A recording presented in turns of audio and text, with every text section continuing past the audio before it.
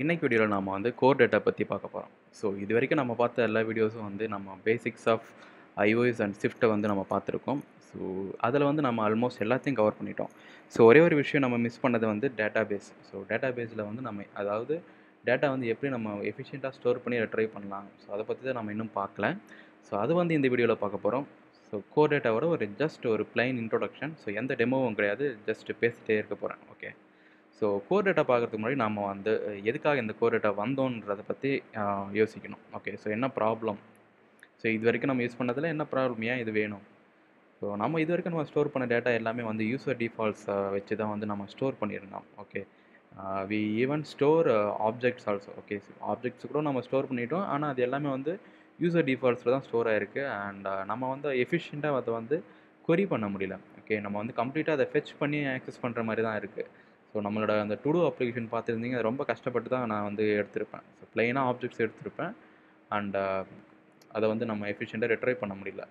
So அந்த ஒரு ப்ராப்ளத்துக்காக தான் வந்து நாம் கோர் டேட்டா வந்து யூஸ் பண்ண போகிறோம் இந்த கோர் டேட்டா வந்து ரொம்ப ஆப்ஜெக்ட்ஸை வந்து ஈஸியாக மேனேஜ் பண்ணுறதுக்காக க்ரியேட் பண்ண ஃப்ரேம் ஒர்க் ஆக்சுவலாக okay so before going to this framework first நமக்கு வந்து டேட்டா பேஸ்னால் என்னன்னு தெரியணும். ஓகே ஸோ ஏன்னா இந்த கோ டேட்டாங்கிறது வந்து ஒரு database framework right so அப்போ ஃபஸ்ட் நமக்கு வந்து டேட்டா பேஸ்னால் என்னன்னு தெரியணும்.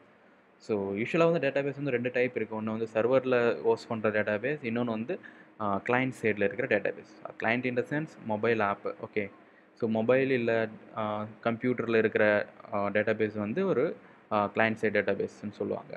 அண்ட் ப்ரீவியஸாக வந்து டேட்டா பேஸ் இன்ட்ரடியூஸ் பண்ணும்போது வந்து எல்லாமே வந்து ஒரு தனி பிளேஸில் தான் இருக்கும். ஸோ இப்போது எக்ஸ்கியூஎல் டேட்டா பேஸ்ன்னு சொல்லி ஒரு தனியாக ஒரு பிளேஸ் இருக்கும். சர்வரில் ஸோ சர்வர் சர்வரில் தான் நம்ம எக்ஸ்கியூஎல் கமெண்ட்ஸ் எல்லாம் போட்டு select star from this particular table அப்படின்னு சொல்லிட்டு நம்ம வந்து எடுப்போம். ஓகே நீங்கள் வந்து டி டிபிஎம்எஸ் பா படிச்சிருந்தீங்கன்னா உங்களுக்கு வந்து மேபி அந்த ஐடியா இருக்கும். ஓகே எஸ்கியூஎல் டேட்டா பேஸ்லேருந்து நம்ம எப்படி டேட்டாவை எடுக்கிறதுன்னு நம்ம பார்த்துருப்போம். ஸோ அதே தான் so X SQL database வந்து ஒரு relational database and relational டேட்டாபேஸில் வந்து நம்ம டேட்டா வந்து எப்படி ஸ்டோர் பண்ணுவோம்னா ஒரு டேபிள் காலமில் ஸ்டோர் பண்ணுவோம். ஓகே ஸோ டேபிளில் வந்து ரோஸ் அண்ட் காலம்ஸ் இருக்கும். அண்ட் ஈச் ரோ வந்து நாம் ஒரு என்டிட்டின்னு சொல்லலாம். ஓகே ஒரு ஒரு செட் ஆஃப் இன்ஃபர்மேஷன் வந்து ஒரு ரோன்னு சொல்லுவோம். அண்ட் ஒரு ஒரு காலமும் வந்து ஒரு ஒரு ஆட்ரிபியூட் ஸோ ஒன்று வந்து நேம் இருக்கும் இன்னொன்றுல ஏஜ் இருக்கும். ஸோ இது வந்து ஒரு டேபிளர் காலம் ஃபார்மேட்டில் வந்து நாம் டேட்டாவை ஸ்டோர் பண்ணுவோம். ஸோ இப்படி ஸ்டோர் பண்ணுறதுனால நம்ம வந்து ஈஸியாக வந்து ரெட்ரைவ் பண்ணலாம். ஓகே ஸோ எவ்வளோ ஈஸியாக நம்ம ரெட்ரைவ் பண்ணுறோமோ அதுதான் வந்து மெயின் ஆக்சுவலாக ஓகே ஸோ அதுக்காக தான் டேட்டா பேஸை இன்ட்ரடியூஸ் பண்ணாங்க. அண்ட் ஸோ எஸ்கியூஎல் வேறு. அண்ட் இப்போ வந்து நம்ம பார்க்க போகிறது SQLite okay so SQL வந்து நம்ம சர்வரில் தான் வைக்க முடியும். அண்ட் அது வந்து ரொம்ப ஹியூஜ் அமௌண்ட் ஆஃப் டேட்டாவை ஹேண்டில் பண்ணுறது வந்து எஸ்கியூஎல் ஸோ நம்ம லைட் இன்ஃபர்மேஷனை ஸ்டோர் பண்ணி ஹேண்டில் பண்ணுறதுக்கு நம்ம எதுக்கு நம்ம அவ்வளோ பெரிய செட்டப் வேணும்? ஓகே ஸோ சிம்பிளாக ஒரு ஃபைல் இருந்தால் போதுமே அப்படின்ட்டு தான் வந்து இந்த எஸ்கியூஎல் லைட்டுங்கிற ஒரு ஒரு டேட்டா பேஸை வந்து இன்ட்ரடியூஸ் பண்ணாங்க. இந்த எஸ்கியூஎல் லைட்டுங்கிறது வந்து ஒரு ஒரு ஃபைல் மாதிரி தான் இருக்கும். ஒரு ஜஸ்ட் ஒரு பிளெயின் டெக்ஸ்ட் ஃபைல் இருக்குல்ல. ஸோ அதே மாதிரி ஜஸ்ட் ஒரு பிளைன் ஃபைல் தான். ஸோ அந்த ஃபைலில் வந்து நம்ம டேட்டாவை ஸ்டோர் பண்ணி வச்சுருப்போம். அண்ட் அதே எக்ஸ்கியூஎல் கொரீஸை வச்சு நாம் அந்த டேட்டா வந்து ஆக்சஸ் பண்ணலாம். ஓகே ஸோ அதுதான் வந்து எஸ்கியூ லைட் அண்ட் இது வந்து ரொம்ப லைட்டாக இருக்குது ரொம்ப சிம்பிளாக இருக்கிறதுனால எஸ்கியூ லைட்டுன்னு பேரை வச்சுருக்காங்க. ஓகே ஸோ எதுக்குற இந்த எஸ்கியூ லைட்டை பற்றிலாம் பேசுகிறேன்னு கேட்குறீங்களா அதுக்கெல்லாம் ஒரு ரீசன் இருக்குது ஓகே இந்த எஸ்கியூ லைட் பார்த்தாச்சு அண்ட் அதை பற்றி என்னன்னு நம்ம சொல்லிட்டேன் ஆல்ரெடி ஸோ இந்த எஸ்கியூ லைட்டை தான் யூஸ்வலாக வந்து மொபைல் ஆப்ஸ் ஐஃபோனும் சரி ஆண்ட்ராய்டும் ஃபோனும் சரி எல்லாத்துலேயும் வந்து டேட்டா பேஸ் வந்து எஸ்கியூ லைட்டு தான். ஓகே அண்ட் ஓகே ஸோ இது வரைக்கும் நம்ம பார்த்தது எல்லாமே வந்து டேட்டா பேஸ் பற்றி பார்த்துருக்கோம். அண்ட் இப்போ வந்து நம்ம ஐஓஎஸ் பற்றி வரலாம். ஓகே ஸோ ஐஓஎஸ் பற்றி வரதுக்கு முன்னாடி நம்ம யூஸ்வலாக வந்து நம்ம யூஸ் யூஸ்வலாக யூஸ் பண்ணுற லாங்குவேஜ் எப்படி? எல்லாமே வந்து ஆப்ஜெக்ட் ஓரியன்ட் லாங்குவேஜஸ் தானே. ஸோ நம்ம வந்து ஆப்ஜெக்ட்ஸை வந்து நாம்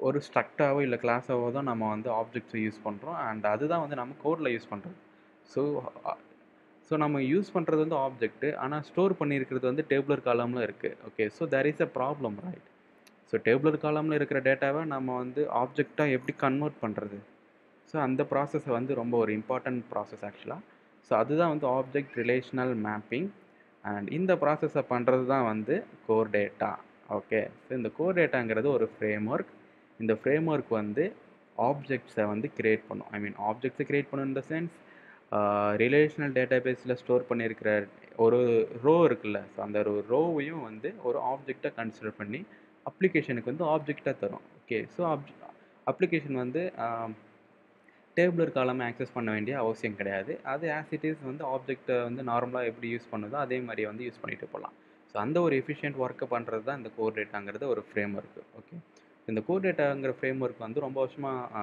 ஆப்பிள் வந்து யூஸ் பண்ணிகிட்டு இருக்காங்க. அண்ட் இதை வச்சு நம்ம பெரிய பெரிய அப்ளிகேஷனும் பண்ணலாம். அண்ட் கம்ப்ளீட்டாக எல்லா ஐயூஸ் ஆப்ஸும் வந்து கோர் டேட்டா தான் யூஸ் பண்ணுறாங்க ஓகே இந்த கோர் டேட்டா மாதிரி இன்னும் ஒரு சில ஃப்ரேம் ஒர்க்கும் இருக்குது ரியாம்னு ஒன்று இருக்குது ஸோ அதை பற்றி நான் எனக்கு பெருசாக தெரியல. மேபி அது தெரிஞ்ச நான் சொல்கிறேன் ஸோ இந்த கோர் டேட்டா யூஸ் பண்ணி நம்ம எஃபிஷியண்ட்டாக வந்து நாம் டேட்டா வந்து ரெட்ரைவ் பண்ணலாம். ஓகே ஈஸியாக வந்து ஹார்ட் டிஸ்கில் இருக்கிற டேட்டாவை வந்து நாம் மெமரியில் வந்து எடுத்து நம்ம வந்து டிஸ்பிளே பண்ணலாம். ஓகே நம்ம மேபி நம்ம ஹார்ட் டிஸ்கில் வந்து ஒரு டூ ஜிபி ஆஃப் டேட்டா இருக்குன்னு வச்சுக்கோங்களேன். நம்ம வந்து கம்ப்ளீட்டாக எல்லாத்தையும் ரேம்க்கு எடுத்துன்னு வர முடியாது. ஏன்னா நம்ம ரேம் வந்து ரொம்ப limited four GB three GB அவ்வளோதான் இருக்கும். ஸோ நம்ம அவ்வளோ டேட்டாவே வந்து நம்ம மெயின் மெமரியில் எடுத்துகிட்டு வந்தால் ரொம்ப ப்ராப்ளமாகவும் சிஸ்டம் வந்து ஸ்லோ ஆகிடும் ஸோ அந்த ப்ராசஸே வந்து இந்த கோர் டேட்டா வந்து ஹேண்டில் பண்ணிக்கும். ஸோ எந்த டேட்டா வேணுமோ அதை மட்டும்தான் வந்து எடுத்துகிட்டு வரும். மற்றதெல்லாம் வந்து ஒரு சில டெக்னிக் வழியாக வந்து மெமரியை வந்து எஃபிஷியண்ட்டாக மேனேஜ் பண்ணோம். ஓகே ஸோ இது வந்து கோர் டேட்டா அண்ட் கோர் டேட்டாவில் வந்து நான் ஆல்ரெடி சொன்ன மாதிரி எஸ்கியூலைட்டுங்கிற டேட்டா பேஸ் தான் வந்து இன்டர்னலாக இருக்குது okay so is there any other thing okay SQLite மாதிரி வேறு எதனா நம்ம வைக்கலாமான்னு பார்த்தா அதுவும் வைக்கலாம். ஓகே ஆப்ஷன்ஸ் இருக்குது ஆக்சுவலாக ஓகே பர்சிஸ்டன்ட் ஸ்டோர் டைப்பு வந்து இன்னும் நிறைய இருக்குது ஸோ நான் நம்ம பார்த்தது வந்து எஸ்கியூ லைட் அண்ட் எக்ஸ்எம்எல் ஃபைலையும் வந்து நம்ம டேட்டா பேஸாக யூஸ் பண்ணிக்கலாம் அண்ட் பைனரி ஃபார்மெட்லேயும் நம்ம வந்து ஆப்ஜெக்ட்ஸ் வந்து ஸ்டோர் பண்ணிக்கலாம். ஐ மீன் டேட்டா பேஸை வந்து மெயின்டைன் பண்ணிக்கலாம். அண்ட் இன் மெமரிங்கிறது வந்து ஹார்ட் டிஸ்கில் ஸ்டோர் பண்ணாமல் ரேமில் மட்டும் ஸ்டோர் பண்ணுற ஒரு ப்ராசஸ் ஆக்சுவலாக ஸோ இந்த மாதிரி செவரல் டைப் இருக்குது ஓகே நம்ம டேட்டா வந்து மொபைல் ஆப்ஸில் வந்து ஸ்டோர் பண்ணுறதுக்கு ஓகே ஸோ இந்த ப்ராசஸை வந்து கோஆர்டினேட் பண்ணுறதுக்கு வந்து கோ கோர் டேட்டா ஸ்டாக்குன்னு ஒரு ஒரு லேயர் இருக்குது ஓகே ஸோ இந்த கோர் டேட்டா ஸ்டாக்குங்கிறது நத்திங் இது வந்து ஒரு கலெக்ஷன் ஆஃப் ஆப்ஜெக்ட்ஸ் இப்போ நம்ம ஆக்சுவலாக யூஐ கிட் எடுத்துகிட்டுன்னு வச்சுக்கோங்களேன். அதில் வந்து யூஐ பட்டன் யூஐ லேபிள் அப்படின்னு நிறைய இருக்குது ஓகே ஸோ அதே மாதிரி இந்த கோர் டேட்டாங்கிற ஃப்ரேம் ஒர்க்கில் இருக்கிற ஆப்ஜெக்ட்ஸ் தான் வந்து கோர் டேட்டா ஸ்டாக்குன்னு சொல்லுவாங்க. ஓகே அந்த கோர் டேட்டா ஸ்டாக்கில் வந்து மெயினாக இருக்கிறது பர்சிஸ்டன்ட் கண்டெய்னர் இந்த கண்டெய்னர் தான் வந்து நாம் இந்த ஸ்டோர் ஐ மீன் அதுதான் வந்து ஆப்ஜெக்ட்ஸ்லாம் க்ரியேட் பண்ணும் ரிலேட்டட் ஆப்ஜெக்ட்ஸ்லாம். ஓகே இதை பற்றி நம்ம அடுத்த வீடியோவில் டீட்டெயிலாக பார்க்கலாம். அண்ட் ஒரே ஒரு விஷயம் மட்டும் நான் சொல்ல வர்றது என்னதுன்னா இந்த கோர் டேட்டா ஸ்டாக் வந்து ஃபைனலாக வச்சுருக்கிற ஒரு டேட்டாபேஸ் ஃபைல் வந்து எந்த ஃபார்மேட்டில் வேணாலும் இருக்கலாம். ஓகே எந்த ஃபார்மேட் இந்த சென்ஸ் நம்ம இப்போ டிஸ்கஸ் பண்ணி இந்த நாலு டைப்பில் வந்து எதுவாக வேணாலும் இருக்கலாம். ஓகே ஸோ அது ஒரு இம்பார்ட்டன்ட் கான்செப்ட் ஆக்சுவலாக ஸோ ஸோ இதுதான் வந்து அந்த கோர் டேட்டா ஸ்டாக்குன்னு சொல்லுவாங்க. ஸோ ஃபைல் வந்து நம்ம எஸ்கியூலைட் ஃபைல் ஸ்டோர் பண்ணுவோம். அங்கேருந்து டேட்டா டேபிளர் காலமில் இருக்கிற டேட்டா வந்து ஆப்ஜெக்டாக கன்வெர்ட் பண்ணி மேனேஜ் பண்ணுறது வந்து கோர் டேட்டா ஓகே ஸோ அடுத்த வீடியோவில் நம்ம வந்து கோர் டேட்டா எப்படி செட்டப் பண்ணுறது அண்ட் அதில் இருக்கிற ஒரு ஒரு என்டிட்டியை பற்றியும் நம்ம வந்து டீப்பாக பார்க்கலாம். நன்றி நண்பர்களே.